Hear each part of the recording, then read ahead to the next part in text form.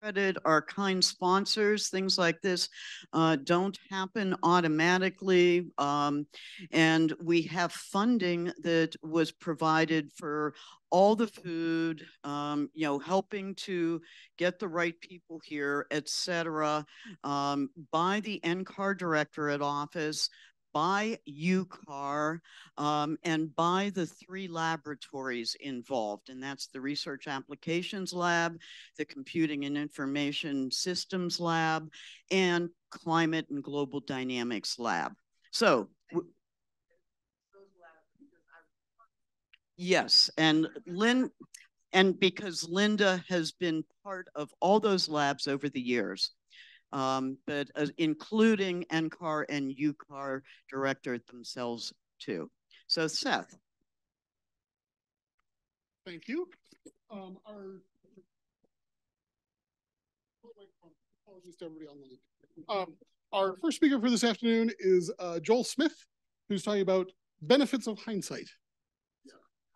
Because the, uh, the, the title is so long, if I read it, it'll take up my 15 minutes. Sorry, Linda, the uh, the movie version will have a shorter title. Once we figure out who plays you and me.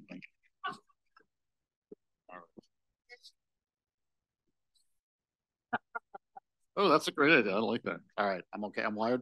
So um, let me begin here, and I am going to interject with a, a few little stories about Linda because I've had the pleasure of knowing you. Now, how do I advance this? Uh, left arrow or right arrow?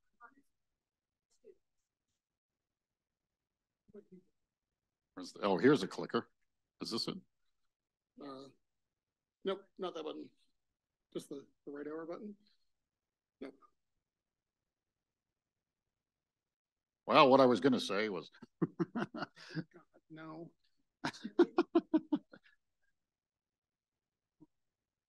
oh, funny. Oh, there we go. There. So that one. Aha. That one. Okay. There we go. There we go. How we get that stuff? Get back to, uh, where is it? Oh, it's under more. Hide floating meeting controls. Okay. All right. So um, Cynthia Rosenzweig uh, showed the uh, cover of the uh, infamous EPA effects report. It was 37 years ago, almost to this day, was that we had an, a meeting to organize that report in Boulder. I had just been hired. I was at the Environmental Protection Agency. I knew nothing about climate change. And after this talk, you might say he still knows nothing about climate change, but you could you could see. Uh, well, anyway, um, at the but I we came out to Boulder and uh, got to meet, gosh, Steve Schneider, uh, Martin Parry, Cynthia Rosenzweig, Bill Travis, who's not here, Bill Easterling. I don't know Bill Easterling if he was there at that meeting, but he was involved with this project, and Linda Mearns we got to meet. And Linda uh, worked on climate variability, which I'll get back to in this talk at some point. But um, and uh, you actually helped. You had this. You had a paper in the appendix. I I still have a copy of it. It was the last of our appendices, but not the least important. You had a paper with Steve Schneider, Starley Thompson, and I forgot who the uh, the fourth person that was in. But anyway, but and you wrote the chapter on variability, which we wisely put early in in the report before we got to the impact stuff. You know, we had a science chapter and then variability, and I think you guys were also trying to look at how well the models simulated variability. But I thought this study, and Cynthia mentioned yesterday, it really was sort of the first country study. We were trying to say, how serious is this issue? Should you take it seriously? That was that was really the issue. How what what what could the effects be? We looked in 2030 and 2060 double CO2 scenarios. But really, we didn't really have transients. And um, it's interesting to go back and look at what we projected at that time and say, well, were we right? Or were we wrong? um, so let's go. Come with me on this venture. Whoops, I just lost. And but I am going to intersperse this with a, if Linda indulges me, a couple of stories of Linda. I'll do one now and one towards the end. We had a number of meetings in this report. Wait, is that Zambezi Falls behind you? I found that in the internet. Iguazu Falls. Okay, very good. All right. Um, so uh, we had a number of meetings in Washington. We dragged all these people and we had like 50 projects. And Linda needed a hotel room and I had an on-site contractor And Linda loves the story. And he said, uh, I said, get her a hotel room. So he, I don't know what he came back like the Willard or something. I said, no, we can't do that. You know, get something less expensive. So we put Linda in an Econo Lodge in Arlington, you know, to some parking lot. I got a lot of grief from that. I still feel bad. But Linda, you're not the only one in this room who I've put in bad hotels on projects. You can talk to Chris. So yes, we still remember to this day.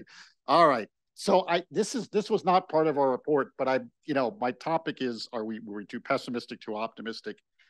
I, I'm sorry, Claudia may not be on the phone because she might have something to say about what I'm going to say about this, but at that time, and for many, for a long time, we thought we were heading to a four to five degree warming. You know, the various, the higher, some of these higher emission scenarios. Analysis that was done about a year and a half ago now suggests that, and it's assuming current policies get implemented, we may skirt about three degrees. And this is relative to pre-industrial. And they're saying, oh, if we do all the pledges and targets, we get it down to two.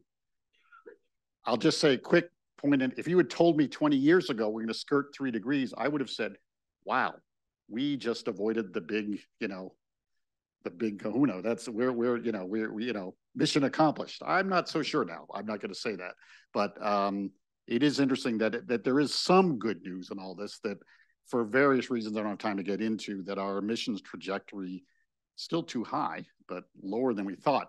So what do we basically get right? This is a gross oversimplification. Chris would have a lot of things, but I would say that there are a number of sectors that we thought they're just going to be problems. And it's a question of how much, how fast, how much. I don't claim we got that right, but did we get the, when I say right, I mean like, did we get the direction of change right? Okay, that's what I mean. So biodiversity, you know, there will be decrease in biodiversity. Human health, there's not, there might be some benefits, some and there's some things like Chris and I were talking about is, you know, heat stress, is it going up or not? Some data sets suggest yes, some say maybe not. But we know, you know, there's going to be a whole raft of problems. Coastal resources, obviously, sea level rise is not a good thing. Coastal storms, water resources, drought, flood, the like. You know, we kind of know, but the uncertainty is very important. You know, it's things like the magnitude, the the the uh, the speed of the impacts. But you know, are they going to be problems? We thought so, yes, and they are turning out to be problems. Whoops, I jumped. I this this thing is a little ornery. Okay, what's turned out to be more complicated? I have to admit, you know, I I I'm sort of a synthesizer. I don't specialize in a particular sector. I kind of pull it all together. And I have to admit, one of the most fascinating sectors to me has always been terrestrial vegetation because there's so many things going in so many different directions. You've got the climate effects, you've got carbon fertilization, you know, other changes, human changes, uh, adaptation, and these don't all move you in the same direction and they can lead to different results. So I want to sort of briefly, just by through example, just show some of what we thought would happen. So this is some work that was done, and you may know so Dominique Bachelet, Ron Neilson, and others. Um, and Ron says hello. Uh, congratulations. Um, and they worked with the biogeography model called MAPSS, a biogeochemical cycle model that the folks up at, uh, what was it, NREL, the NREL up in Fort Collins, uh, developed, Ojima and Paustian and those guys.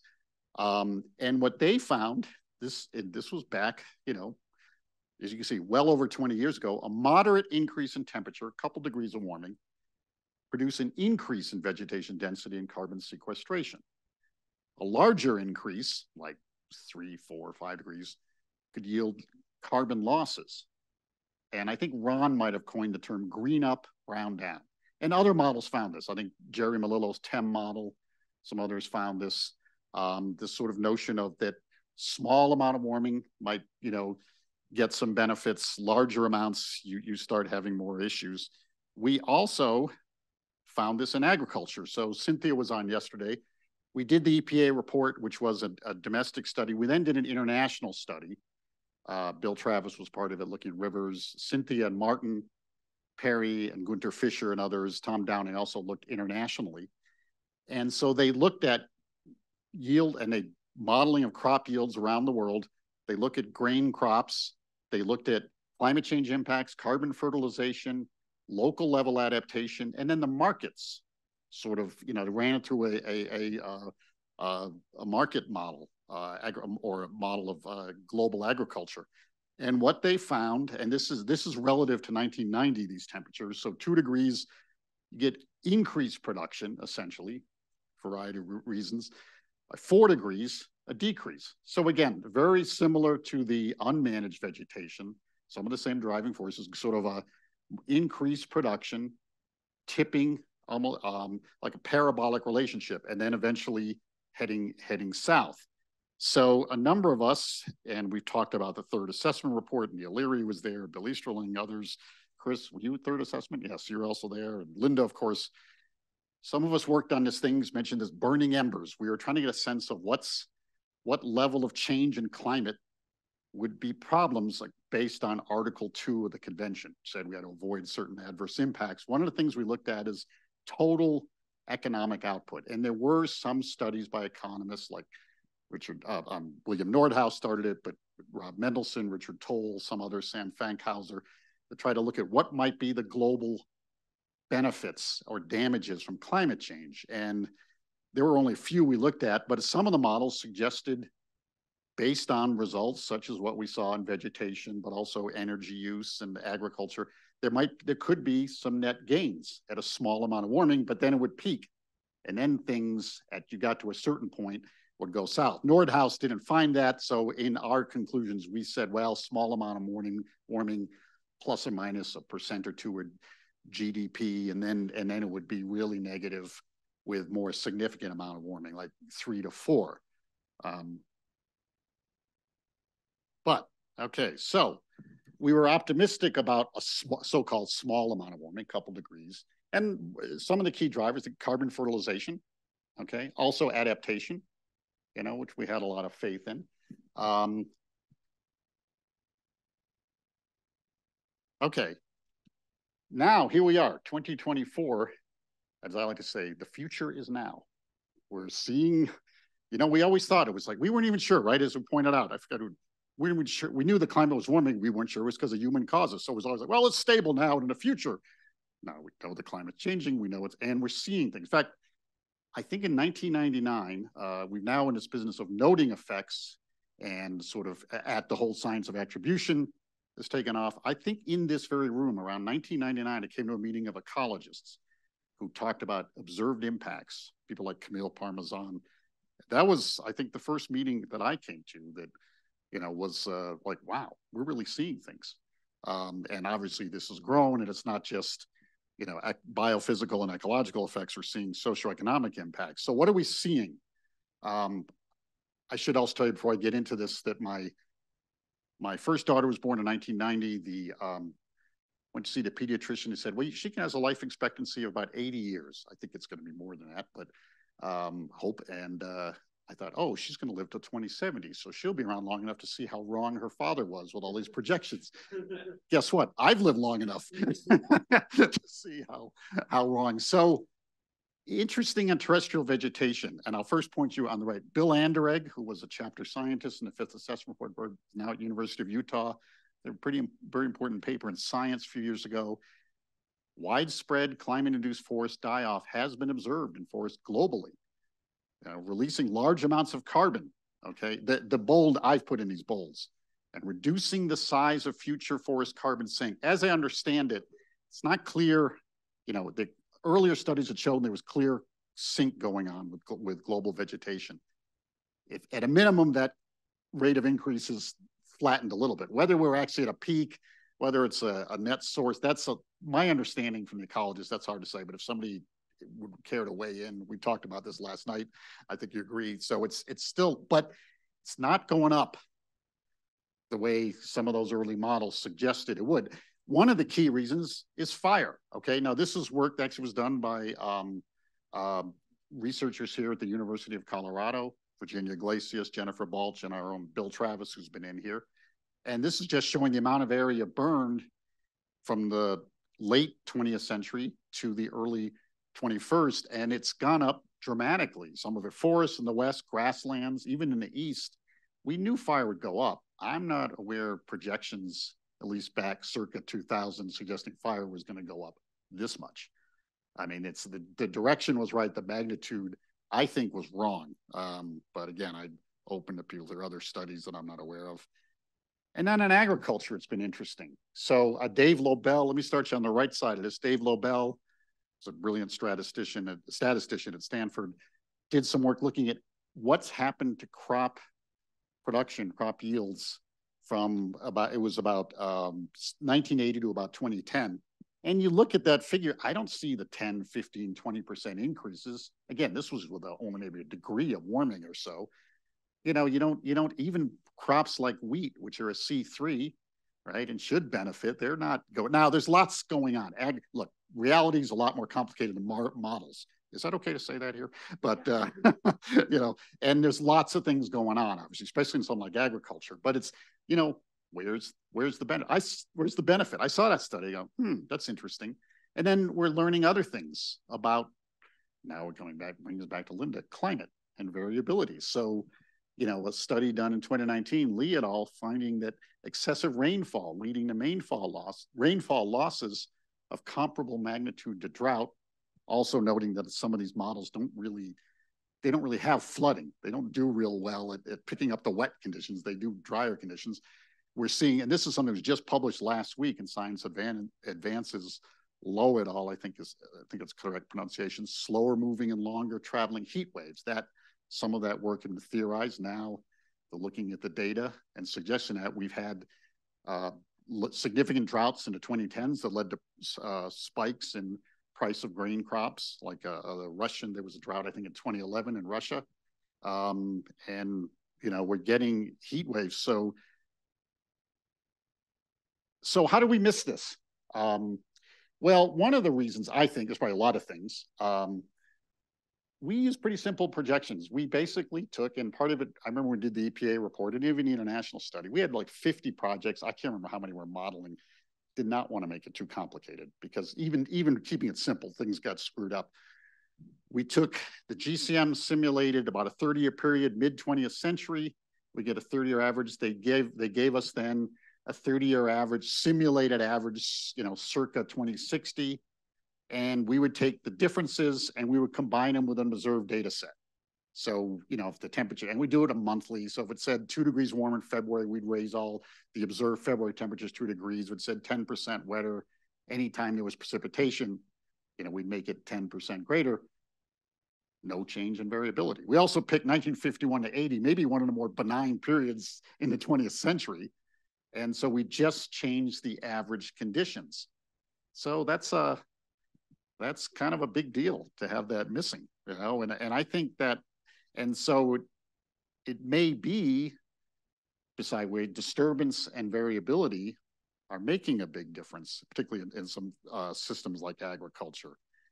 So a lesson I take, and you know, a lot of us, we did things, we did burning embers, you know, we would, you know, people would say, oh, you know, we look, our models all show this. They're all consistently showing this. Steve Schneider used to refer to that as crackpot rigor, right? And sometimes we relied too much on, oh, we all found the same thing. But nonetheless, we ran with that. And I, you know, a lesson I take, and maybe I'm overreading this, but you know, if you're if you're in a business of projecting impacts, it's nice to look at what you've learned from the modeling, but what did you leave out?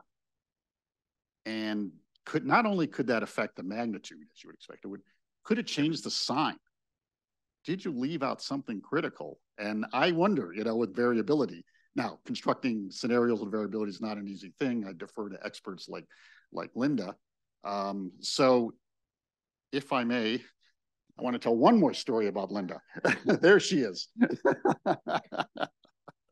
there she larger than life, as she is, as you are. So Linda and I, I don't know how many of you have been to energy modeling forum meetings in Snowmass.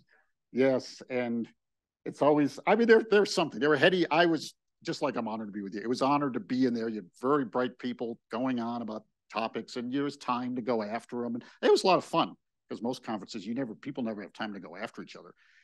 And we'd sit, and sit. so I was sitting once between Linda and John Reilly, who many of you know, and a certain individual there uh, who did not have a low opinion of himself was giving the, I won't name the name, you can guess, he's giving like the fifth talk about the fifth topic and going on. And I sort of muttered under my breath, okay, does this guy sell hot dogs at halftime? And Linda immediately came back and said, no, he'll invent a new hot dog. Uh, John and I wanted to dive under the table. We were laughing so hard. So Linda, it's it's been wonderful to be, you know, a colleague and, you know, through this venture, congratulations on your retirement. I look forward. We we like to get together every now and then. You and Jenya and my wife and I are just you and I just to talk some science and politics, whatever. But it's always uh, I look forward to continuing our friendship and collaboration. So thanks for letting me speak here. All right.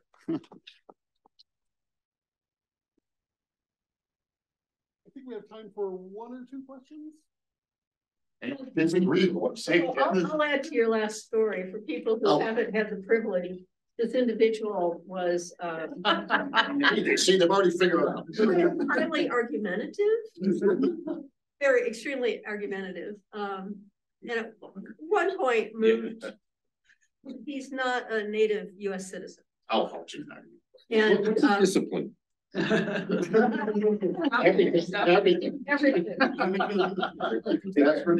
point to Canada and US won't let him back in because they think he's a terrorist, which, he is, but not for the reason they think.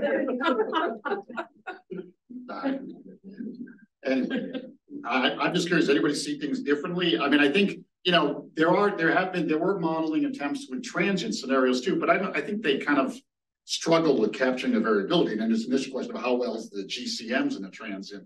And certainly like the things that, uh, well, um, Jennifer isn't here, you know, these storms that would come up, I mean, these heat waves, you know, they're like, I, you know, very hard, I suspect. Although it'd be interesting to really look hard at the models and see, do, what do these things show up at all? Yeah. So, um, going back to our great report, Yeah, um. You said a bit about what did we get wrong, but you know, there was a lot in that report. Um, and maybe you didn't have a time to, chance to review it, but did you feel as if the main messages from that report still hold? I think, you know, yeah, I mean, basically the fundamental message, hey, this is gonna be a real issue. For us to deal with, it's gonna be, it's serious. You know, and, and it is, and in fact. That's gonna, I, it'd be interesting if you'd asked us way back then, when, when will we notice the impacts? Hmm, I don't think, I wouldn't have thought, you know, maybe twenty thirty, I would have thought it would have been much later. mhm, uh, that it would take it, that would be more gradual, and I think one of the, the real, the surprises. Well, I'd say, so my take is that the emissions, the good news is the emissions are lower. Than we thought, the bad news is the I won't say the climate sense, the sensitive system, because that implies climate sensitivity, the impacts. A lot of things are a lot Yes. worse, Yeah. they're coming a lot faster, a lot sooner than a lot of us had thought. And that's been like, you know, you read these things like, wow.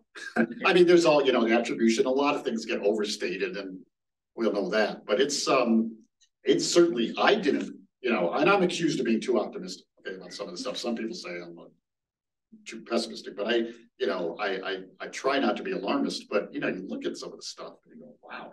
Yeah. It's a lot, yeah, Uh, We should, we should move on because we're already running a little Oh, bit behind, so. all right. Uh, our next, our next speaker is virtual, um, and it is Stefan Rahimi. Yeah, Stefan. Yes. Yo, yo, yo, your boat. I'm trying, I'm trying not to be nervous for this because it's, um, first time, the first time I've ever been in a room with kind of the titans of all of this stuff. Uh, all this, you know, the, the intersection of climate and society and, uh, policy, all of this, all of this stuff. It's a little overwhelming. So forgive, forgive the nerves. I'll try and dispel them as rapidly as possible. But, um, anyways, um, I'm really happy to talk about this. I'm not going to read this hopefully the appearance of this tumbleweed in the first slide um, will will um, will the reason I'm using this as kind of a theme of the talk will become apparent shortly. Um, but um, I want to start off by showing some of my mentors. Actually, all of these folks have mentored me. Um, you know, I just finished my PhD back in 2019, so I haven't been in the field all that long. Um, and each there's so many more folks on this slide that that have given me useful advice or I've, I've idealized their research uh, to some extent. Um, you know, Ruby, uh, Colin, and Paul here um, were really, really helpful at times during my PhD work, um, where I studied aerosol weather climate interactions using different modeling frameworks. Uh, then I started my postdoc and really pivoted from climate to climate change and regional downscaling, and my network grew. Um, but um, you know, one thing I want to point out here is the diversity. I, I really am inspired by kind of the diversity that's kind of represented here. Um, as I as I continue to learn about creating these kind of fit for purpose climate projections. Um, and uh, kind of if you dig into the literature, obviously you all know this, you go back and you go back, you go to the early 2000s, the 1990s, and even late 1980s, and you eventually converge uh, on these two these two names, Linda Mearns um, and uh, uh, Filippo Giorgi there on the right, um, and that's these these underpin kind of um, you know the main branches of this tumbleweed that has amassed this what I call the tumbleweed of of happiness that is that is amassed around regional regional climate projections uh, tailoring them to stakeholder needs and, and, and uh, making them useful for decision making. Um, and I could go through kind of the, the CV litany of, of accomplishments that Linda has been involved in over the years, but the two that I feel like have been most important for me um, are, are NA Cordex, uh, specifically Cordex as an enterprise itself, uh, and then before that, a little bit before that, NARCCAP. Um, I, I, think this was intentional, but I don't know. I've never asked Linda or Melissa Bukovsky directly about this, but um, these have really been uh, defining institutions for me as a, as a, as a regional downscaler, particularly in dynamical methods as uh, kind of a, a, point of centralization for technique. Um, you know, you have these different modeling groups that, uh, particularly in Cordex, um, report, you know, their, their RCM setups across uh, different regions of the planet. Uh, it allows me insight into different modeling strategies at, at a very technical level. Uh, so I, I, feel like it, it almost provides this um, this forum for me to guzzle information on on proper technique, and I, I feel like that's what uh, at, le at least at this point in my career I'm really obsessed with is kind of perfecting uh, uh, and improving technique as so as much as I can in dynamical downscaling. So um, I really want to just start off by saying that. Um, Linda, your initiative uh, and of course others in your uh, tum tumbleweed of happiness um, has has really shaped my work, and I'm really, really, really thankful for you and and uh, kind of the, the other scientists in your orbit. Um, and so, as I mentioned, uh, kind of turning to a little bit uh, more more more science and uh, less bragging about others, although I could just sit here and brag for like an hour about somebody in the room.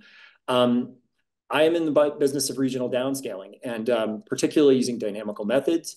Uh, and um, I, I've, I've kind of become someone who focuses on the issues with downscaling as much as, or even more than, uh, kind of its, its strengths over other downscaling techniques. Um, you can see here for one climate model that we've downscaled across the Western US, you go from this nice smooth, uh, you know, precipitation change in the future uh, in the global climate model but then as we downscale to progressively higher uh, resolution, smaller grid spacings, you get, for instance, the geographic complexities of California expressed in the climate change signal. But is it just a pretty picture? And um, I, I'm obsessed with uh, particularly figuring out when I'm just looking at a pretty picture versus whenever I'm, uh, you know, looking at something else. And uh, Dave Pierce, inventor of ncview, uh, I like to say, um, he he always uses this phrase: "All models are wrong, but some are useful." And I, I would argue that the more biased our, our, our dynamical methods are, the less useful they are, even if they are rooted in physical computations, uh, computational physics. Excuse me. So um, one of um, one instance I have here is from uh, a data set that I've, I've, I've worked to produce with with with many others over the past four years. Um, here we're looking at precipitation at Denver, Colorado uh, from observations. Uh, and then one of our uh, well-vetted global climate models from CMIP6, uh, this is uh, the dash line, and this is native GCM precip. Um, so no downscaling involved, but you can see it's like 50 to 100% wet biased, just the native GCM. And so it's kind of like, well, um, the GCM is uh, biased, but we're going to downscale it. We're going to fix its issues now. Um, that's what we get whenever we downscale the red line. Um, and you can see it's even more biased than the parent GCM. And um, I must admit, when I first got into dynamically downscaling GCMs, I was convinced the first time I downscaled CESM2, another uh, well-performing GCM across the Western United States in terms of uh, you know process-based metrics. Um, I was convinced I'd done something wrong, and um, uh, as I moved deeper into downscaling GCMs, I kind of, you know, immersed myself in the downscaling literature and figured out that, oh, wow, bias adjustment is very, very common practice in, um, in, in downscaling. Um, and of course, you all know this, but, um, you know, we just basically replaced the means of uh, a, GCM or downscale GCM's time series to, and we force it, uh, we force that its statistics to match observations. And so that's, that, that that's kind of like artificial, almost like sucking on a dirty coin. It just puts a bad taste in my mouth. So um, I understand it's it's ubiquitous. It's need for it, the need for its application.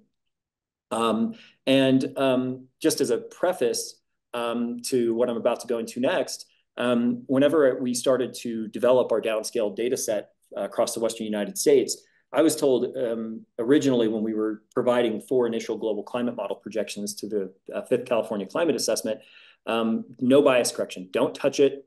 Uh, don't play around with it because we're concerned about how climate trends uh, will be will be altered or how much uncertainty we may introduce into the projection. More on that later. Uh, but anyways, my a core thrust of my research has um, kind of uh, gone deeper into technique and confronted the controversy around bias adjustment uh, head on. Um, and so before I get into that, um, just a, a word, um, you know, um, and this kind of stems from, from everything that Cordex was, or everything that Cordex is and everything that NARCCAP was, um, downscaling one global climate model or two or three or even four doesn't seem like enough. We need more, we need more, we need more. And so um, my postdoc supervisor and mentor, Alex Hall, kind of gave me wide latitude to just downscale as much as I could.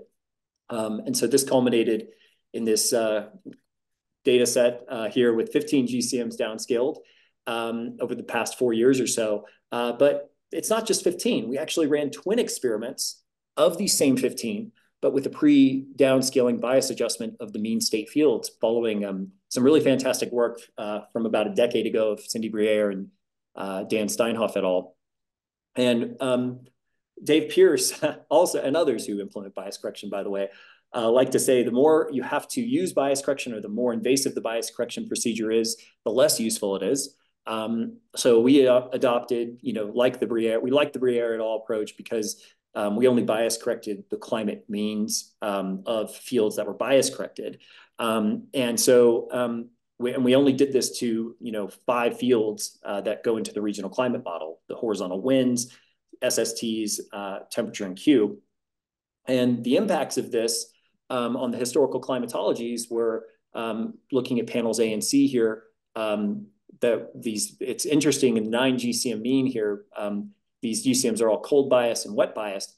When we biased, adjust, and then downscale, boom, we reduce these biases. Perhaps an expected result. Um, and um, we see the same thing show up in cumulative precipitation at, at Western US uh, SNOTEL sites. Uh, we see this also uh, for snow water equivalent, uh, this reduction in bias.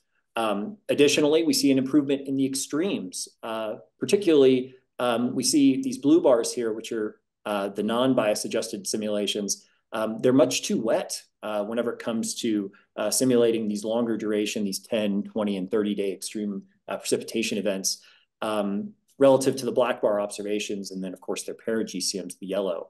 But when we biased adjust and then downscale, we're doing a lot better in terms of representing these extrema. So in other words, we're bias correcting the means, bias adjusting the means. I got can canned by a reviewer recently for that. Um, uh, was it you, Linda? Uh, no, no, just kidding. Um, but um, you know, it's we're bias adjusting the means, but we're getting improvements in the extrema as well, which is really nice to see. But um, unlike uh, some other bias adjustment techniques out there, because we're doing this in a dynamical framework, which uses the equations of uh, the governing primitive equations uh, to solve for atmospheric motions, um, we can look at GCM bias here. And that's what this, this figure is showing, specifically for temperature. We're looking at a region averaged across the Northeastern Pacific and Western US. Um, these are native, this is G, native GCM information only. And we can see that uh, for CMIP 6 GCMs, uh, there are 30 comprising the spread here. Uh, and then the black solid line shows um, the, the, the ensemble mean it's amazing to me that that most CMIP6 uh, GCMs, at least the ones plotted here, are, are all too cold relative to uh, a historical reanalysis um, with a low-level instability bias. And so um, using fundamental meteorological principles, we can kind of relate this colder atmosphere in GCMs to uh, um, uh, an atmosphere that is more conducive to heterogeneous nucleation processes, which of course uh, increase precipitation efficiency. Uh, instability, particularly the low levels, um, increases your convective available potential energy, more upward vertical velocities, more precipitation that way. Um, and how we're bias correcting as well, even though this is only a mean state approach um, in which we're bias correcting, we're also bias correcting for the geometry of bias because this bias correction is, is, um, is grid point specific. And if we look at how our uh, GCMs are biased in space, we can see this cyclonic vorticity bias that exists in CMIP class GCMs currently.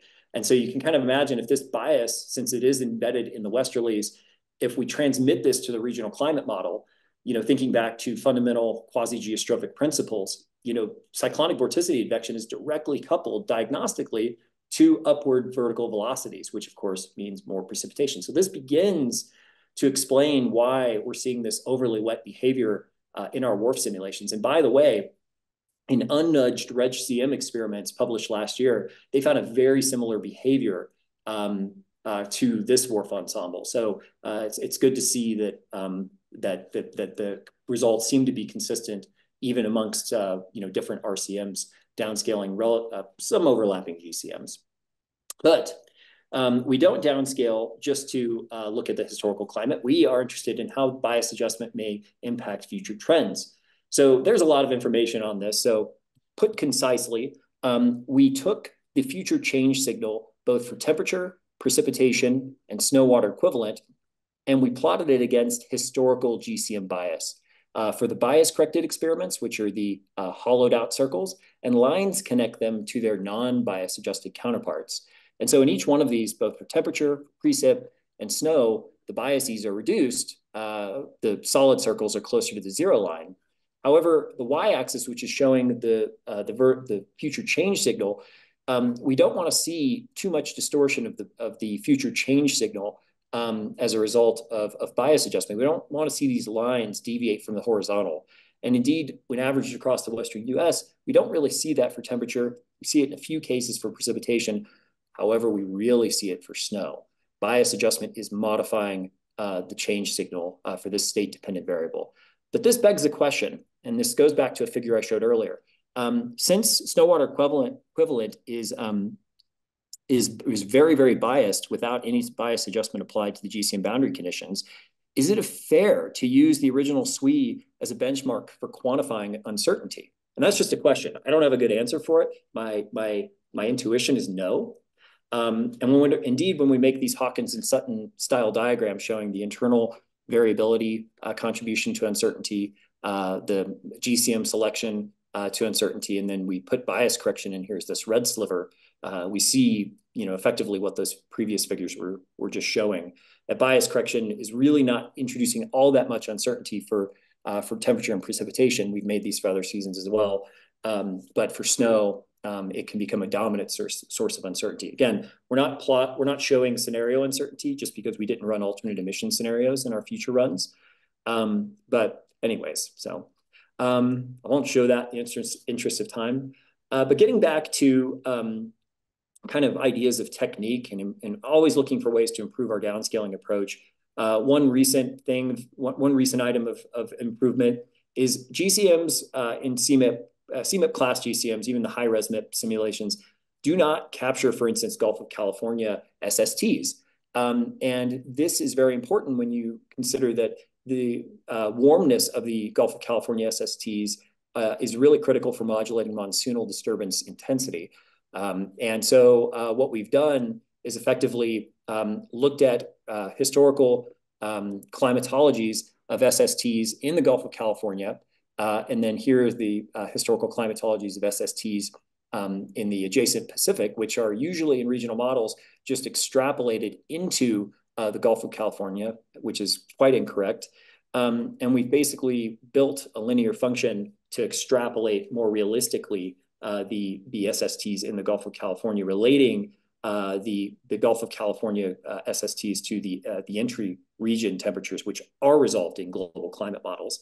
Uh, so just little tricks like this, trying to improve kind of, you know, downscaling technique. You know, RCMs and GCMs, they don't necessarily speak the same language. And so we view these kind of uh, whether it's bias correction or these little tricks to increase, um, you know, model skill as a kind of translation mechanisms um, between GCMs and RCMs to kind of come, come produce a better uh, climate, a set of climate data outputs. Um, so more work needs to be done in this space. And I want to tie this back into um, kind of uh, what I've said at the beginning about kind of the tumbleweed, but scientifically, um, and we saw uh, a description of this uh, in Melissa's talk uh, and others, but uh, more intercomparisons needs to be made between different climate data sets, both statistical and dynamical, uh, as well, and this is something I really feel strongly about, item two, um, more deliberate and well-documented model testing. These don't need to just be sections of papers. Um, we, you know, we're we need to think of ourselves as, you know, climate data engineers um, uh, rather than, you know, academic climate data producers um, because people are actually using these data for, for risk assessments, you know. Um, and, you know, I, I, I far too often see like bias evaluations and model testing uh, you know choices comprise very small segments of, of very large papers and i think i think uh, this could this could stand to be ex uh, expanded um, and then in line with kind of the cordex mission and and that of NARCCAP uh, we don't need to just downscale more GCMs. We need to use more RCMs to downscale more GCMs. Um, I think compute power is starting to allow for this, um, but this requires coordination. Um, and then uh, finally, I'll conclude with this, and thank you for letting me go slightly over on time. Um, where I see opportunities, and I'm gonna get, get all philosophical on y'all, I'm sorry. Um, I see our greatest strengths coming in the form of openness and sharing. We saw this around in response to the pandemic. Different federal agencies and, and otherwise lowered their uh, guardrails to, and shared information. We were able to produce quick vaccines. Um, and um, I see, I think, I know in my heart that the same thing goes for climate data. Uh, so that whether that means that you know you produce a data set even if it's not published, don't be don't be afraid to share those data with with your partners and colleagues. Like let them help you sift through this ever more increasing terabyte to petabyte scale data flow. Um, supporting each other rather than under, undercutting each other. Um, really, really, um, this that kind of ties into one. Uh, but finally, um, three, embracing diversity. Um, again, that initial slide I showed really shows kind of uh, at least my inner tumbleweed uh, or inter-network tumbleweed of mentors. Uh, I think there's a fair degree of diversity there.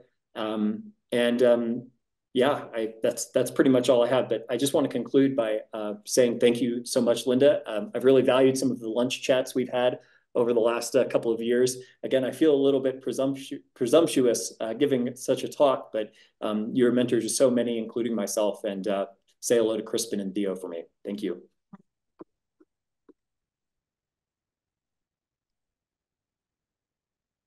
We don't have very long questions, but I know that Linda has a very important question. If you want to, if you want to bring back up the first slide of your presentation. Uh-oh. Goodness. By the way, uh, yeah, okay. I'm, going. I'm going, I'm going, I'm going, I'm going. I'm sorry. By the way, hold on a sec, really quick. Does he not have the friendliest face you've ever seen in your life? Anyways, okay. This one or this one? No, no, the first. There we go. Okay, your kitties. Yes. What are their names? What um, this the Siamese with neck rolls, that is ube, like the potato. and the one on the right is Sergeant Butter. Excellent. Oh. All right. It looks a lot like the. Uh... All right. Now that we've got the important questions out of the way, we have time for probably one scientific question. Doug. Thanks. I I enjoyed your talk. Um, if you if you go back to the slide where you were talking about extremes, maybe yes. um, maybe I, I, didn't read it right, but it looked like the GCMs were actually closer to the black lines than the RCMs. In every case. Yes. Um, and so this is this was actually a surprising result to me. I had always heard that GCMs were quite bad at extremes, particularly for precipitation, but no, you're right. But I will say this is an average taken across California, which is a huge, huge state. Uh, and so I think there might be there it might this might be kind of an artifact of our you know our, us considering an average over a rather large area. I mean, if you look more at local scales, the divergence between uh, observations and the GCMs can be, the native GCMs can be huge. Thank you very much. Um, and now our final speaker uh, is Barb Brown. So I'm going to talk about women in atmospheric sciences and statistical applications to climate. And I, I had the good fortune to actually do work with Linda on a couple on these things, but unfortunately, I really only worked with you until I moved to RAL, which was in 1992. So sadly, um, everything I'm going to be talking about was before 1992. so, um, but Linda and I have both been here at NCAR for almost the same amount of time, I think. So a long time. So I'll be talking about Women in Atmospheric Sciences, which was a group that was initiated by a group of women at NCAR. It became a, a group um, across Boulder among all the labs in Boulder. And um, what, what that organization was all about, why it happened, um, and then some changes and to policy at NCAR and, UCAR um, and that that followed that. And then a little bit of some research, the only research project that I worked on with Linda. um, there's a good re- I know, but there's a good there's a good reason to revisit it. okay, so this is um, I I was involved in the, in 1989 in a in helping doing a statistical analysis of um, staff at at NCAR, and I I pulled this out of I I am one of these people I think like Linda who keeps everything, so I I have piles of stuff that I went through before I uh, put this talk together. Um, but this was a survey that was done by HR and that, that I helped with, um, showing the breakdown of women and men at at NCAR and the numbers. And you can see they they had to group the associate scientist with somebody else because I guess both programmers and scientists had too small of a group to be handled by themselves. So they got grouped in with the associate scientists. But you can see that the number of women was way smaller than the number of men at NCAR at that time in science in technical positions. And but at the same time, I think during this period, a number of women started um, to work as scientists. It was became more of a boom for for women to be in this profession, and um, and because these were young scientists, some of them um, were starting families and had children, and also had partners who worked. So, and um, a few of us recognized that some of the NCAR policies didn't really fit with this evolution and the change in the workplace, and you know things like maternity leave so I think there were, there were a group of us who became activists at NCAR. Um, Linda was among us. Um, she was, a, in fact, quite a big leader of the whole project, the whole, whole effort. Um, myself, Mary Downton, Beth Holland, Pascal Lalong, and Kathy Miller were also a part of this. And I think I remember this whole thing started when some of us just happened to be standing in the hallway talking about things. And that's one of the things that can happen when people are talking in the hallway. And some of the things that were were disturbing, I think, especially to the women scientists at NCAR, was that there were there were no there was no ability to stop the clock if you were going to go up for tenure, if you were a senior, if you were aiming to get on, you know, move up the scientist ladder, you didn't, you had to do it within a certain amount of time. Or I don't know what happened to you if you didn't do it. You just, I guess you're up or out. That's right. Um, we also, there wasn't really much recognition that people had babies. And so they might need to be pumping milk during the day while they're at work. So I would go down to the basement in SCD, Scientific Computing Division at the time, and hide in the last stall in the bathroom. It was awful. Um, children weren't welcome in the workplace in general. Um, and uh, part of this was part of this effort that we came up with was that one of the women scientists, I think she was a scientist one at the time, got in trouble because she had her baby in, in her office with her. And then the policy, read for what kind of leave you got for pregnancy or post-pregnancy. And those that that kind of leave was in the in the manual, the the rules manual, treated as the same manner as any other illness or accident and limited totally to medical necessity.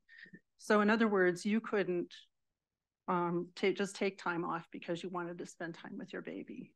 Um, and your partner could not do that. Men were not included in this at all. So, so we, you know, kind of, we, we went through a lot of a lot of things trying to trying to figure out what the best way to, was to go about this. And we eventually wrote a memorandum to the NCAR director that was signed by 23 staff members, including both men and women and all the scientist levels.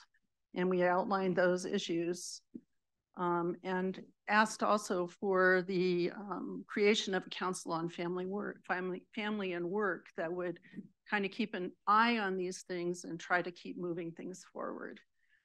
Also, there was a request for flexible leave op options, especially for things like pregnancy. But, um, and at the same time, this this expanded well beyond NCAR into all of the NOAA labs at um, in Boulder. And it brought women, a lot of women across Boulder together to discuss science. And you can see from the NCAR numbers that we were a pretty small number in the in the community here. And that was true, I think, in the NOAA labs as well. So they were feeling the same kinds of things that we were. And so we created this organization, and I have no idea who created the logo. Do you remember, Linda? it was called, we called it We As, but Women in Atmospheric Sciences. And in, in addition to trying to, you know, move things forward, it was an opportunity for us to get to know each other and, and to share our knowledge and our experiences. So that it was wonderful that it expanded that broadly. And amazingly enough, um, things changed. So um, we we sent this memorandum, and I think that that had a big impact on, on Bob Serafin. And um, so 1992 is when the new new policies were implemented, and they we were even getting given credit for it. that um, a proposal prepared by we as the Women in Atmospheric Science, and supported by many staff was the catalyst for this review of, of practices. And so activism works. This is, you know, the main occurrence in my life where I've seen activism really, you know, make a change. So there were changes in work and family, flexible work, scientific appointments, leaves of absence, dependent care assistance. And just as a couple of examples, we, this is, these appeared in staff notes um, back in 1992. The scientific appointments policy allowed you to slow the clock. Um, and when you're, you couldn't, you know, if you needed needed the time for having a child or um, other reasons, you could stop stop the clock or or so delay delay going up to to the next level. It also provided more um, leave options, including family leave, family care leave. So it's not just about taking care of your children. It also did a, did form a Council on Family and Work and created dependent care assistance program for people to put money away um, to to get to get help. So the Council on Family and Work was established in 1992. Um, we did surveys in 1994 and um, you know, a survey in 1994, and I, I can't remember what APS stands. Oh, Applied Physics, American Physical Society. Thank you.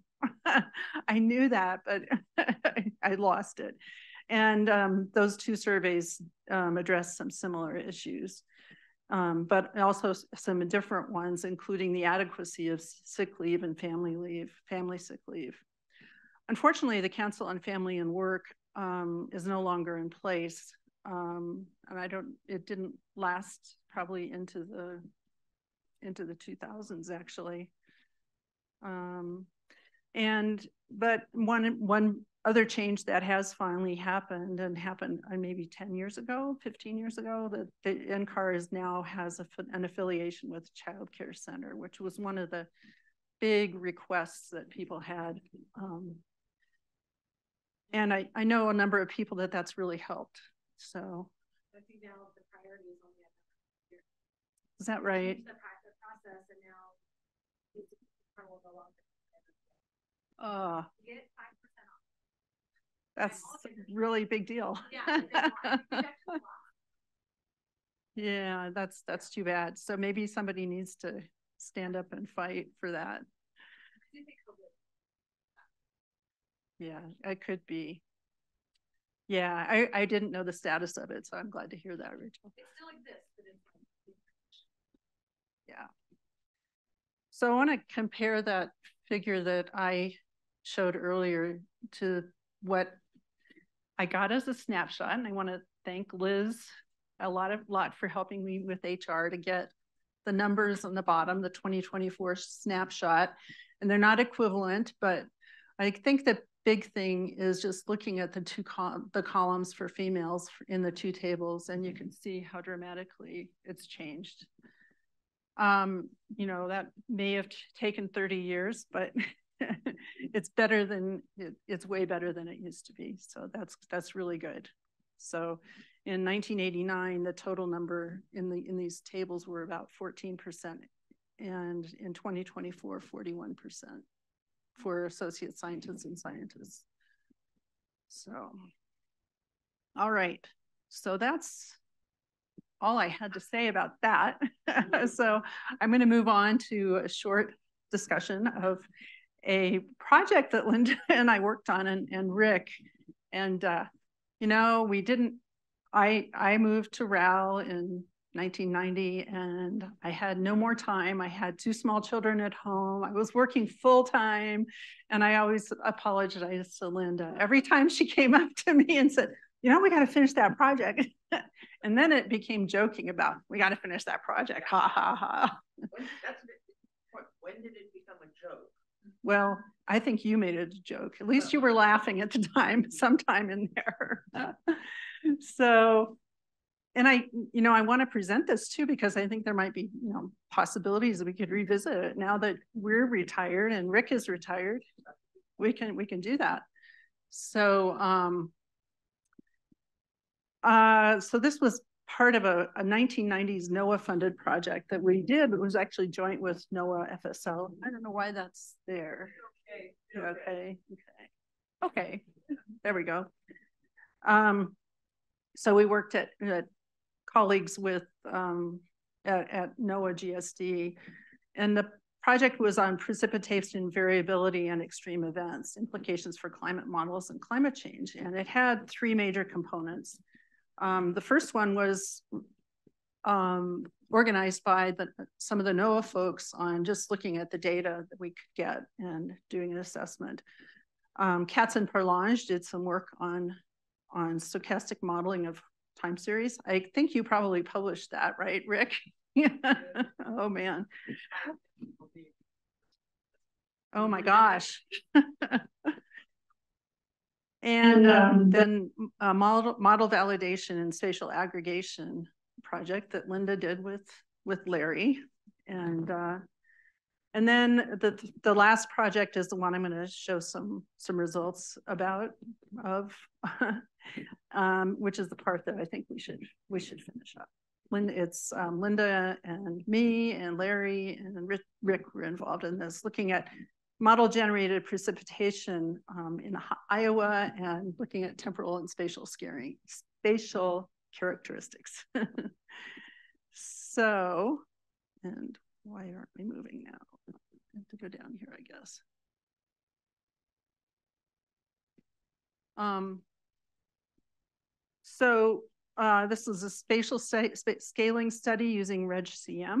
I don't remember what the scaling of that was, I should remember. Yeah, it's down there. Okay. Um, 60 kilometer resolution. So it was not you know, even though it was a regional model, it was 60, 60 kilometers. And the goal was to gain an understanding of spatial scaling characteristics of summer precipitation fields on short time scales. And so we wanted to test the concept that Iowa precipitation um, fields could be characterized by simple scaling and to evaluate the realism of the scaling, comparing the model fields to the observed fields from 88 precipitation. So it was a nice little part partnering between statisticians and atmospheric scientists. And I have to give credit to Rick for actually coming up with the basic ideas for this project. Um, again, the observations were, were, from, well, the observations were from the what was called the hourly precipitation gauge data set from NOAA, and we had 88 stations. I'll show the map in a minute. And then, as I said, the RegCM. Um, so the goals were to evaluate the type of spatial scaling that characterizes the observation and model-based values and compare statistics of the modeled and observed grids. So we wanted to see how well spatial scaling attributes were, how, how, how similar they were between the observations and, and the model. And so this might, I guess it's not too hard to read. You can see that our gauge, our gauge stations are not, you know, they're not a lot, but they're Iowa's, I think that we chose Iowa because Iowa is better than any place else. in the in terms of the number of gauges, not in a general sense, but um, and this is the finest resolution. So we looked at. Let me just say this, is this is the the box size index So we were, let me see if I can see that. This is the finest resolution so of, of, the, of the model. Um, so we had um, grid sizes of 2,326 kilometers squared was our, our, our smallest size. Uh, you're not supposed to go yet. Um, so basically we divided the, the state of Iowa into boxes and then we put different uh, looked at different scales and looked at how um, the characteristics of the scaling, the characteristics of the precipitation averages um, function as, as a, as um, what the, and I'm not saying this quite right. We wanted to compare the, the spatial scaling to how well the let me just go to the next slide. this is easier. So it look, it, it turns out, according to, and I don't know if I mentioned it, was, this was based on a, work by um, Parlange and Waymire, Gupta and Waymire, right? And uh, you can tell I haven't talked about this for a couple decades. But what they had found, Gupta and Waymire had found that as you do spatial scaling in this log fashion, where you're looking at the log of the moment versus what's called log lambda, and log lambda is, um, lambda is here. So we're looking at all, at just one box and then down to um, the smallest box, smallest set of boxes. So lambda is a function of the scale that we're looking at when we divide the, the grid up. And log lambda, it, theoretically by um, through work by Waymire, Gupta and Waymire, um, it, it is a simple scaling if you get a linear, linear connection between um, log lambda and log, log of the moment. So this is these are the results from the data that we had. And you can see that, that we did get that nice linear, linear structures. So that there really was um, a connection in the in this simple simple scaling idea between the observation between the um, the scale and the and the average precipitation, the precipitation moments. Um, but we do see also that the model scaling is quite different from the observed and basically it underestimated, the model underestimated the amount of precipitation, which you can see here looking at one of looking at the observed versus the model precipitation values. So one reason we should go back and do this is we probably have better model data. and uh, this was, you know, it was it was very enlightening but um, we probably need to do, you know, we, we could look at it again. So what did we learn? We learned that from this simple criterion, summer precipitation, at least in a place like Iowa, which has fairly simple topography and a fair number of, of stations, that simple scaling, the simple scaling idea is um, reasonable for both the observed and observations in the model. But a second criterion that I'm not going to talk about here doesn't hold. So, um, and um, this seemed like a nice alternative way to, to evaluate models. I think that's one thing that came out of this study. And um, I think the, the really nice thing is that basically the spatial organization of the precipitation, even for this older model, was um, pretty similar. So um, I'm not going to say anything more about that, but I'm going to do something to embarrass Linda. no, in a kind way. I'm just telling you that I I have I have um, I this is my tribute instead of actually giving a tribute. So so I I found this this poem some closing words. It's hard, it's a hard time to be human. We know too much and too little. Does the breeze need us? The cliffs, the gulls? Does anybody need us? If you've managed to do one good thing, the ocean doesn't care. But when Newton's apple fell toward the earth, the earth ever so slightly fell toward the apple as well. So Linda, the earth has moved toward you. I think seriously, I'm listening to all the talks this week. It's been incredible and um, how much impact you've had on our world. And it may be not the whole earth, but it's our world. It's had a huge impact on, and I think probably bigger than that. So that's um, that's all I have.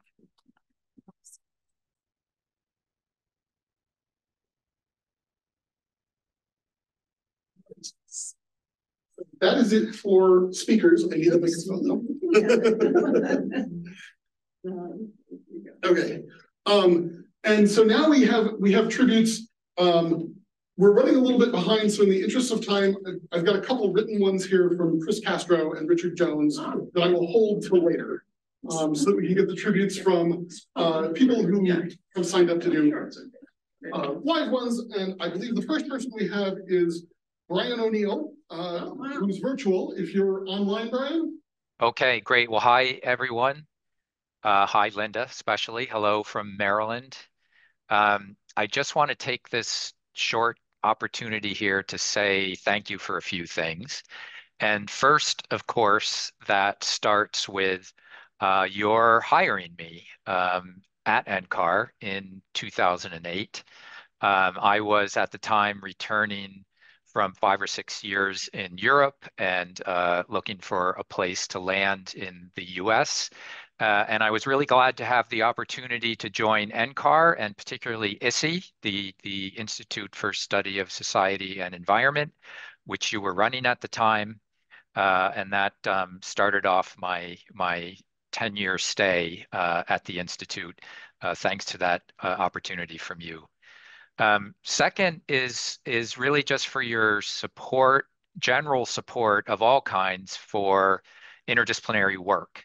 Um, and I, I know that was before I got there. Uh, it was definitely while I was there, and I'm betting uh, that it has continued um, after I left. And I think that um, interdisciplinary work really only works when there are individuals who really want to do it and who are really excited about it. I mean, you need all the the right institutional structure and all that, but but the greatest structure is not going to produce anything if you don't have people excited to do the work. So your support for that and your excitement about it um, was was really uh, a great benefit. Um, and third, um, for improving my vocabulary. Um, I probably many of you have had the experience of picking up new words uh, from Linda from time to time. She has an expansive vocabulary, is not afraid to use it. Um, the the last word I learned from you, I believe, was the one Claudia used earlier today, um, perspicacious. Uh, and so I um, I thank you for improving my um, uh, articulateness, uh, I guess. Um, and uh, and finally, I guess for your your your insight, um, I, I I won't now use the word perspicacity, but but perspicacity um, in over uh, over the time that I was there, um, in in frequently asking questions or making an observation, uh, whether it was in a, a, conversation, a meeting, or or a seminar, that really made us rethink what we were doing, look at things from a new perspective, and really really helped move things along. So many thanks, uh, and enjoy your retirement. Next up, we have Mari Tye, um, and we're gonna have people come down here to the front, but we're using the, the room mics, so you don't need to, you don't need to put the microphone on or anything. Hi, I'm Mari Tye. I'm in the Climate and Global Dynamics Lab. And well, in uh, 2008, when I started my PhD, I, I'm afraid I hadn't heard of Linda and no, no shame in that. But I, I realized that I actually have a, a, great deal to thank you for because I rather terrified my supervisor, Hayley Fowler. I, one of the first things I said to her was, I don't like climate models. I don't think any models are useful and I'm not going to do this.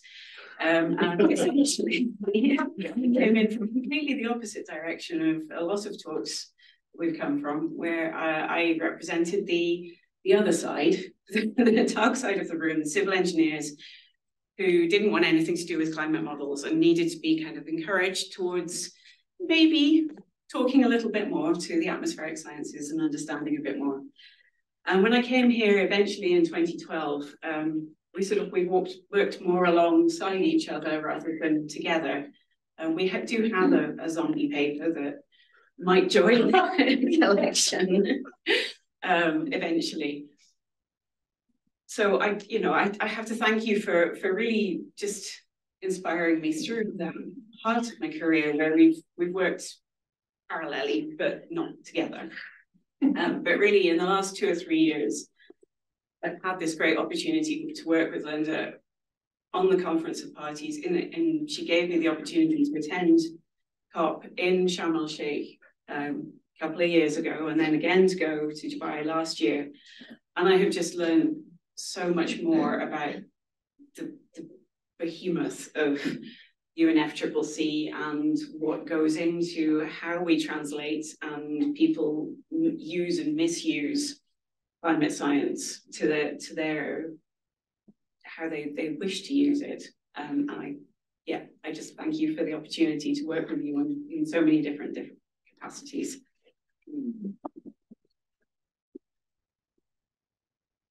All right, Rob Lempert.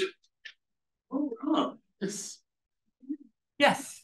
Hi, Linda. Um, yeah, so um, uh, first off, I mean, thank you all for putting together this conference. I mean, it's it's been really amazing to, to see and be reminded of the, the breadth of, of Linda's accomplishments. Um, you know, I, I just want to, you know, recapitulate some of the the just all the things that people have mentioned that, you know, Linda's inspiring passion for interdis interdisciplinarity, um, focusing on decisions, and what the information is useful useful for, her, her great questions, um, her clarity about what we know, what we don't know, how to act based upon that. Um, two um, other attributes I, I with I, I, haven't heard it mentioned as as much is um, you know first off um, Linda's um, wonderful honesty. I mean I there there are I've had occasions with with other people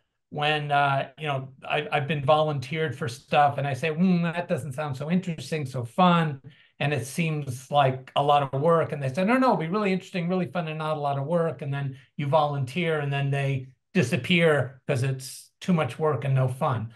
Um, and, um, Linda's never like that. You know, if Linda says, "Come, come, come, do this with me," you know, she she is there she she is in always in deeper than you are, which is uh, which is wonderful. And then Linda's also, um, I mean, a real inspiration in how fearless she can be. I mean, I I've, I've been in you know, so many meetings where, um, you know, it's, it's descending into groupthink or, you know, some, you know, revered, uh, person in the field is saying something and Linda will, you know, everybody's going, "Eh," and Linda will stand up often with her, her, her big hat on and say, um, let me ask you about that. And, uh, you know, sort of take the meeting and steer it off in a, in, in a totally different and, and much better direction. And so I just uh, sort of innumerable instances of that. So, um, want to thank her for all that. Want to thank her for the inspiration, for the opportunities, uh, mentorship, being such a great colleague. Um, and then uh, turning to the zombie topic, yes, we'll get the zombie book done, and and and and then to but but but to, to kind of delve even deeper into zombiedom. I don't know, Linda, if you remember that long lost paper we were working on with Camille Parmesan. Oh, Um, and- yes. Yeah, it, it is resurrected, and I'm going to be sending you a draft of that next week. and it's much older than the book. Anyway, thank you so much. Sorry I couldn't join you in person. Monica Morrison? Right, so uh, as Seth just said, I'm uh, Monica Einhorn Morrison. I'm a project specialist in the Climate and Global Dynamics Lab here in the Mesa Lab, um, and I'm actually a philosopher of science. And so the tribute that I give to Linda today is on behalf of the group of philosophers of science um, under the uh, mentorship of Elizabeth Lloyd from Indiana University um, that Linda was nice enough to adopt um, as part of her uh, research group for many summers. And so this first part is from Lisa, and then the rest is from um, the students and postdocs um, that you have welcomed over the years. So uh, Lisa would like me to say that I never would have gone into philosophy of climate science and had a third career if it weren't for Linda, who invited me, laid the path, and made it possible. She introduced me to countless folks, taught me most of what I know, and we did some fun philosophy together, which was a real thrill. She is the best, a true collaborator and a true interdisciplinary worker. I raise a glass to a fantastic scientist today with all of you there. Elizabeth Lloyd.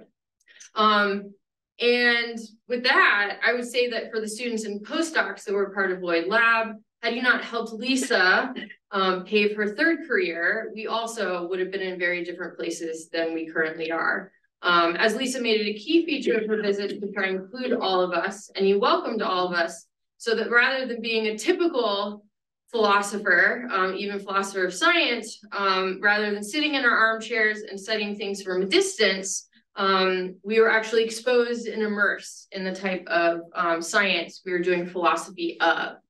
Um, and personally, it was in 2016 or 2017. I can't actually remember much prior to COVID. um, but uh, that I was set up for my career that I currently have at NCAR, and it was Linda and many others in this room, Seth, Doug Nychka, Melissa Bukovsky, um, who welcomed me and exercised what I might characterize as extreme patience um, through many conversations um, as I figured out the language and the details of climate modeling. Um, and I also perhaps personally should thank the same group of people for my current obsession with Earth system models, fitness or adequacy for purpose, or perhaps lack thereof. Um, and so, Linda, we thank you for your open mindedness, your acceptance of philosophers, and all our disagreeable traits, like digging our heels in when someone such as you tells us that we're actually wrong. Um, and for your continued role as an informal mentor and role model.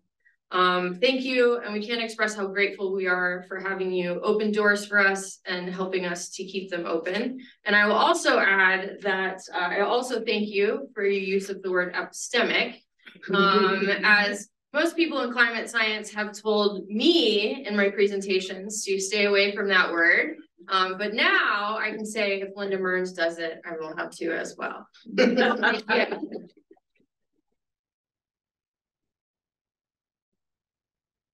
All right, uh, Anji Seth, online. Oh, God, Angie.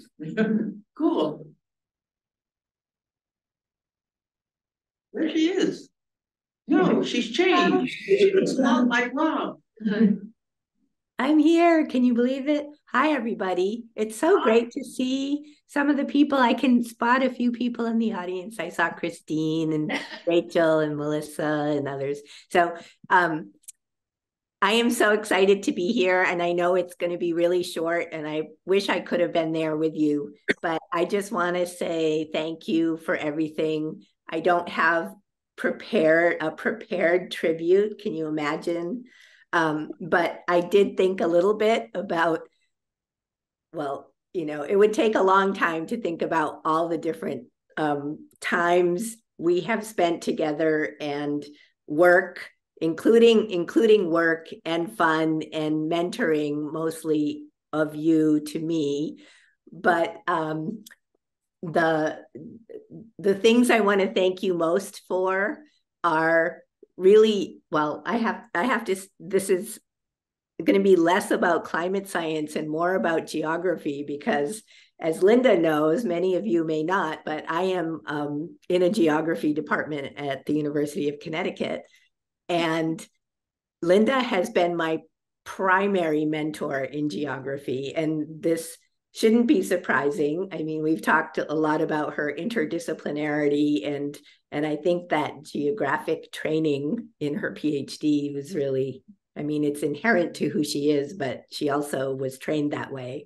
And so um, I have been learning so much uh, in the discipline of geography and also from Linda through geography. And I want to thank you for all your help in in getting me um, situated, although I'm still a wannabe. I'm still a geography wannabe. I'm working on it. Um, and the other thing that I really want to thank you for is your help um, with the UConn at COP program. Linda has been um, doing the UCAR um, UNFCCC meetings, running the that program for a while, and so um, she's been really helpful at at helping us bring students to the COP every year. So we've been going since Paris, and that's one of the the more frequent times that I've seen Linda in the past few years. So thank you so much for that. And anytime you want to come to a UConn women's basketball game, you just let me know. work that out. and I'll try not to kill you with a spicy meal.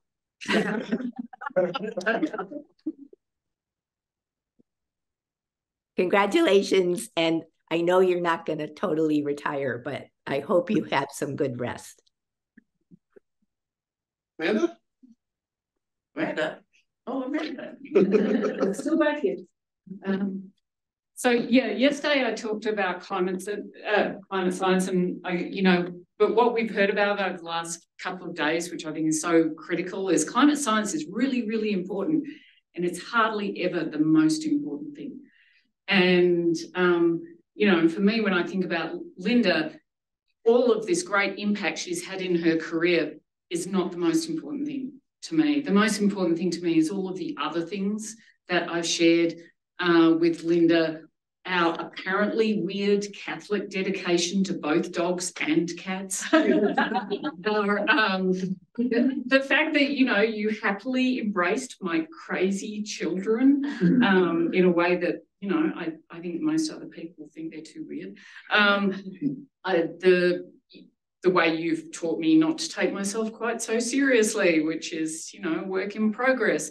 um, all of those things. And and um, but also, and, and this has not come up in the last two days, and so I kind of felt I had to say it. I can't think of Linda. I think of Linda and Genya, Genya and Linda. They are they are themselves and they are such a part of my life and, and so important. And so what I would like to do actually is uh, apologize to Genya for nearly letting a polar bear kill Linda. I was there too. I promise I won't do it again. but thank you both.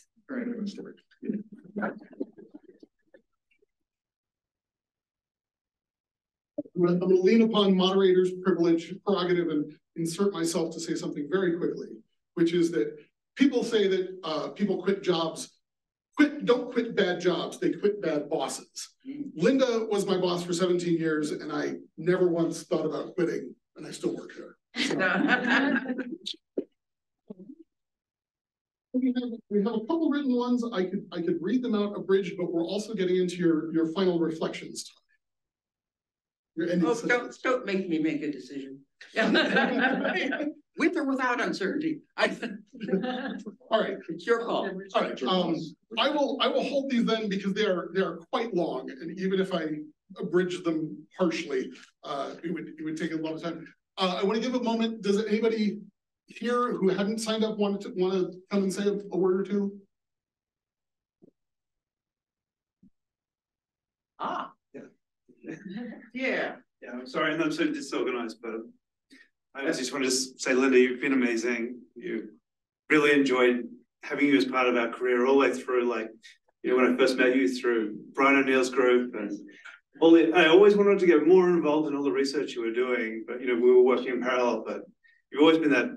And like Murray, going to COP was an incredible experience. Thank you for providing that and giving us the connection into the international community. Something I think NCAR and UK doesn't do as well as they should. And so thank you for being a champion for all of that, keeping us connected to the world of, of really like of change and what where we can take our science and put it back into that policy, back into that that real perspective. So you've been a real champion for that. Um, I always appreciate the fact you came from agriculture. I'm a geographer as well. So it's Wow. yeah, I I don't think I knew that. Yeah.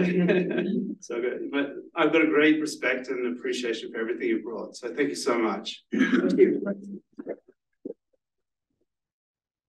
Richard Moss has a hand up. Richard Moss, go ahead. Hey, everybody. It's so neat to uh, be part of this. And I really thank you all for organizing it in such a way that you enabled, uh, you know, virtual participation. Um, the, uh, you know, the recollections I have of working with Linda and Linda, it's just been wonderful to watch, watch all the talks and also watch your reactions to all the talks. Um, are your, you know, kind of, I always think of you as being somebody, as others who have said, just so open to new ideas and to transdisciplinary approaches. And one thing I don't know if it came up uh, as much was your role in the uh, National Academy's Committee on the Human Dimensions, uh, which was its uh, prior state before it became the Board on Environmental Change in Society. Um, you were always a great ally on that committee. I remember many, you know, sort of post-session uh, conversations with you over a glass of wine, figuring out how we're going to get the committee to move in this way or that. Um, uh, as as uh, Rob just mentioned, your directness. Um, you were one of my colleagues, so I never had to wonder what your reaction was to my, you know, most recent crazy idea. Um, and I really appreciated that. Um, and uh, I, I, remember one incident when we were working on a SERDP project together. Uh, I think we were at Fort Bragg uh, in North Carolina, and um, both of us were having some trouble with the uh, seeming um, lack of acceptance of climate science. One of us had more trouble than the other in uh, not letting the, every, everyone else in the room know about their trouble with that. Uh, you you were uh, uh, unwilling, I think, to mask your uh, concern that they weren't all in on climate change and climate science. Um, uh, as as Rob mentioned, you were also somebody who was always in in joint projects, and for that I uh, am always grateful. Particularly, we had one big project, a national climate assessment scenarios workshop that we had to co-organize. Um, and I think that the thing actually started the day after Thanksgiving or after Thanksgiving weekend. It was really just a huge effort um, to pull it together. Uh, and then just two other things, your clarity of thought and expression. Um, and, you know, the fact that you came out of the humanities, was, you know, in philosophy was something that I always appreciated because it did give you access to a, a form of expression, which I really appreciated. Um, and you always made you know complex uh, climate science issues understandable and straightforward to the point that I always wondered, well, why haven't they solved that yet? It seems so straightforward. They should just go ahead and do it. Uh, and then, of course, your friendship and your support um, and your willingness to, to, to go all out in helping me and in helping others. So I do hope that your role as an NCAR fellow um, leaves you enough time to enjoy your retirement. Uh, and I also really hope that we can remain in contact. Thanks for everything.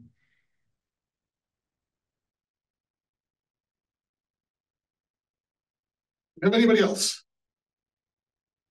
Um, Um, I will. Some, someone.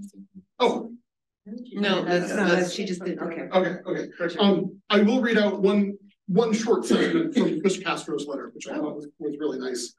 Dr. Linda Mearns has shown me that true success in science is not about making great discoveries and being famous. Rather, it is more about inspiring a spirit of discovery and selfless service in those whose lives you influence for the betterment of the whole of humanity. Wow. Whoa.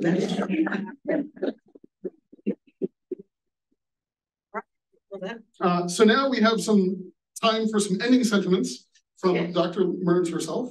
Thank you all for coming. Uh, Thank you all for Thanks, organizing.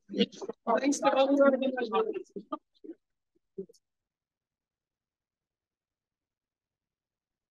The IPCC JPEG. It's in, it's in, uh, oh, must be there. It's in Friday. Oh, final thoughts. Yeah, final. Final Final thoughts. That doesn't look like that. No, I got it. No one's fine. It's an intro. There we are, final thoughts, but hopefully not that final.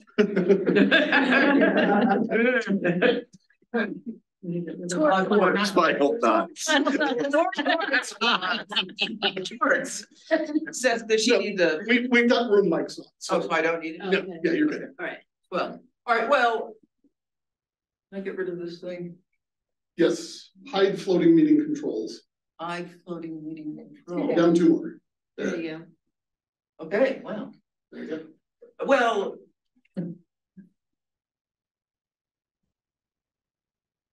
So this has left me all pretty speechless. I mean, um.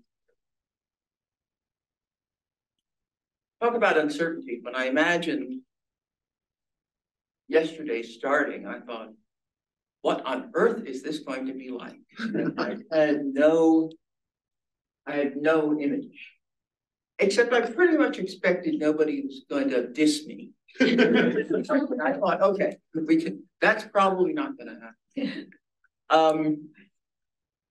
But yeah, this has just been, you know, incredible. It, it, it's been, I think it's gonna take me a while to take this all in, but it might actually cause me to sort of reevaluate my self-concept. Because I didn't think I was that great.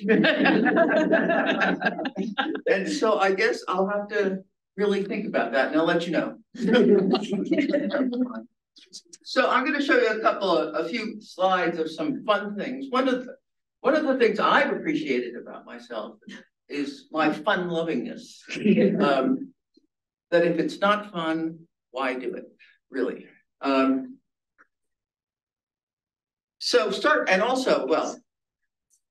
Dr. Petoskey has kind of stole some of my thunder. So, hello, all right, I got it, okay. Here we are, it began in the wheat, okay, so here it is in the wheat. Um.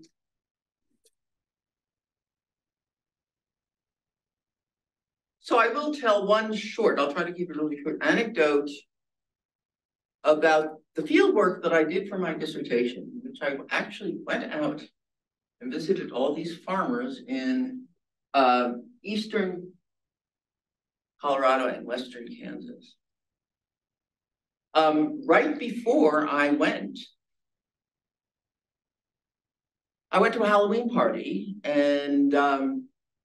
People, there was a guy there who was painting people's faces, so I thought, oh, sure, hey, let's do this. So he painted my eyebrows blue and then put sparkles all over them. And this was really cool. And I had a great time at this party. And then, but I was literally leaving the next day for this trip to visit these farmers in an area that I thought was. I suspected that our political perspectives would probably be different. Uh, and so I was concerned about that, like, how am I gonna get, how am I gonna relate to these guys? Um, I got the sparkles off. but I couldn't get the blue off. But I was going to visit them with blue eyebrows, and I thought, is this going to help develop a rapport? Probably not, but I I learned something very important. One, none of them commented about the blue eyebrows. And I realized it doesn't matter, didn't matter. Because we had this one thing crucially important. We were both really interested about wheat.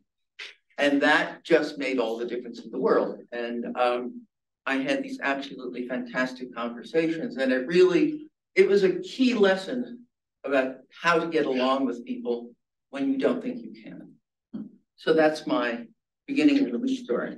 All right, so NCAR Women in Water. All right, so one of the things I really had fun with, NCAR had developed some um, water bottles, and they made them NCAR water bottles by putting an NCAR label on it. um, and I thought, oh, this is cute.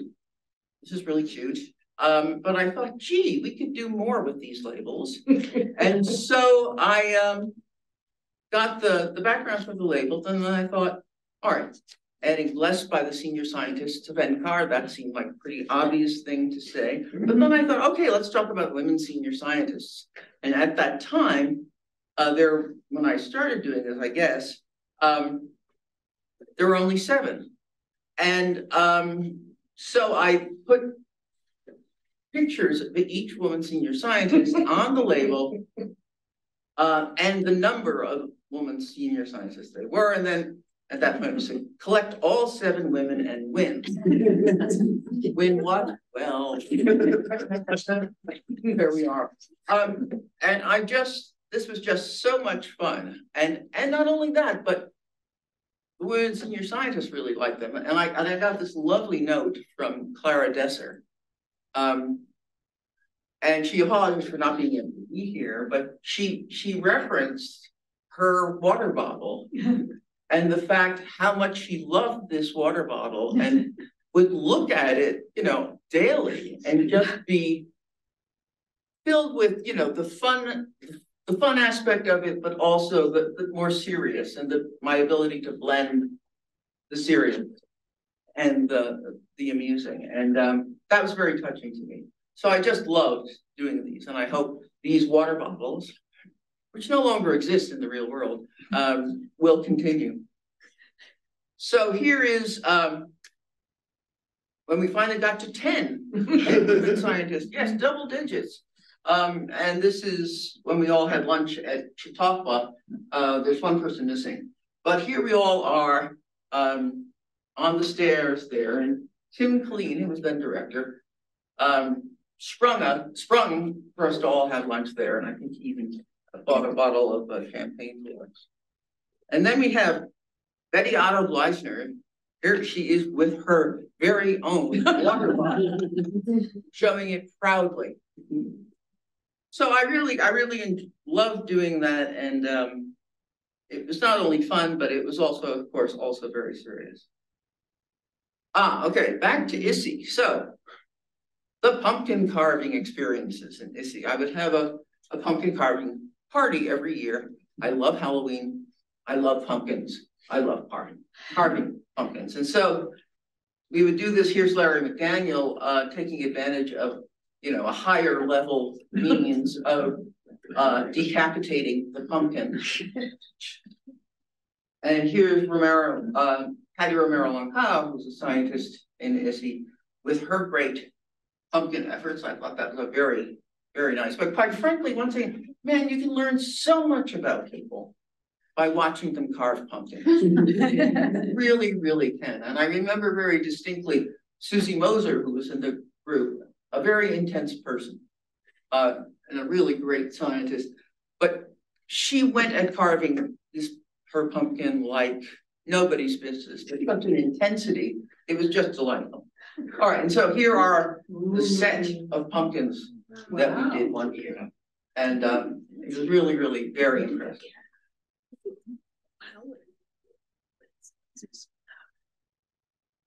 Impressive. Yes. Copy of this picture is available in the hallway. Um, okay, some of the things, a lot of people have talked about NARCCAP. Um,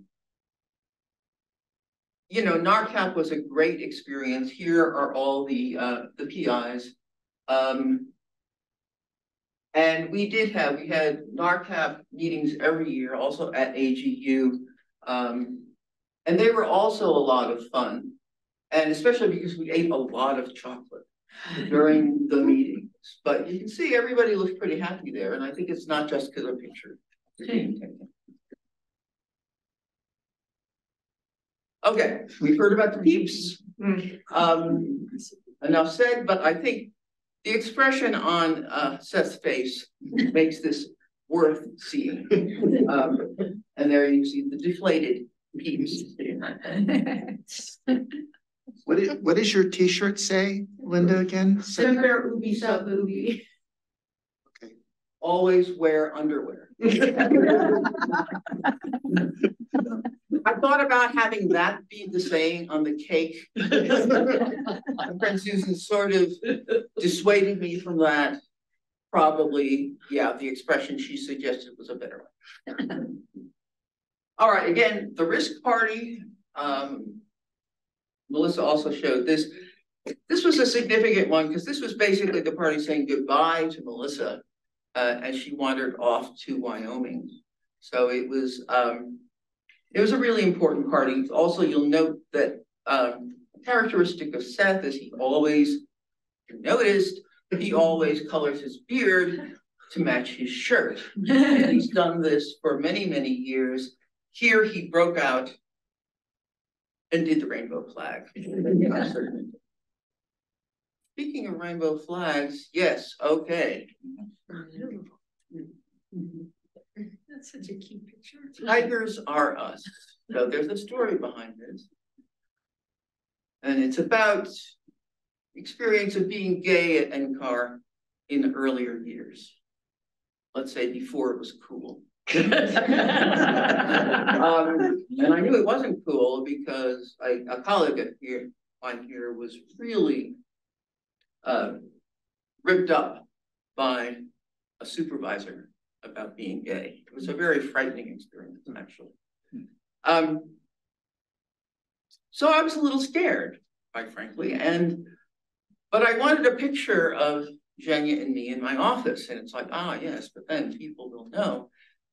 So a friend of ours had sent this card because she thought it sort of looked like us, of these two tigers. Um, and so I put the tigers in a frame and I put the tigers on my desk to represent us. And um, yeah, that was quite an experience. I also, I did this at the, finally AGU actually had a, I don't remember Seth, what was it called? It was a panel, but it was a, an AGU function. I don't know, maybe five years ago. Yeah. Yeah, and I, and I showed this then, and, you know, the response was really very positive. So I, I think that's, is that the end? Uh, almost, all right. So hail and farewell, sort of. I have one more thing to say, and it's a very serious thing. Um, it's about my whole career at NCAR. And as some of you know, I've had some really good times and I've had some really bad times. And I've thought a lot about how to say something about this without being overly grim and negative, but being, as people seem to think, I'm honest, so it seem. Um, so I'll say I have had good times and bad times, and I really thought a lot about why. Why? Um, and one problem, this kind of overarching one, was the interdisciplinarity. That I was a little bit too early for that to be comfortable at NCAR. And I and I certainly suffered for that. Um, but some of the other bad times were because of decisions that leaders at NCAR made. Now, some of those I think they were bad decisions for me, maybe not for the whole organization. Some of the decisions I felt were bad for the whole organization. And it made me think about, so why were some people put in leadership positions who really shouldn't have been there? And it brings me back to decision making and under, under uncertainty. I think it's very, very difficult to make a good decision when you choose a leader. Talk about deep uncertainty. It's incredible. And not only that, you won't even know how bad the decision might have been for years. Hmm. And that is a big problem for organizations. So I say in conclusion two things that um, an organization has to be very careful about the criteria they use for choosing leaders. And I think that has evolved in more or less a positive direction over time, but not completely. Number two, about the good times I've had, partially just my own initiative, um, but also by having a few leaders around who were smart and kind. And those are the kinds of leaders you have to look for in this organization, even if they're not your immediate supervisor. Find them and stay with them. Uh, I think that's everything I'm going to say.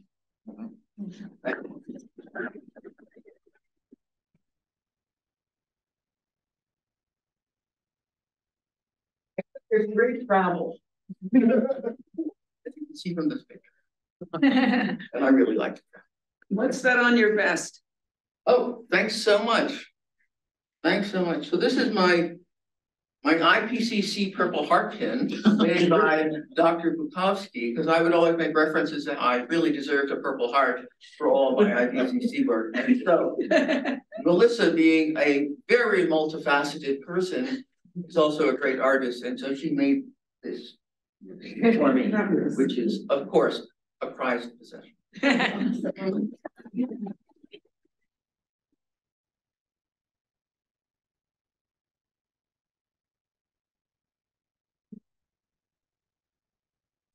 Well, thanks to everyone for coming and joining with us and uh, celebrating Linda, her career, and all the impact she's had on all of us. And we thank you for being here. We thank, thank Linda for being who she is. And we thank NCAR, UCAR, RAL, CGD, and CISL for sponsoring the session. So thanks everyone. Let's applaud Linda one more time.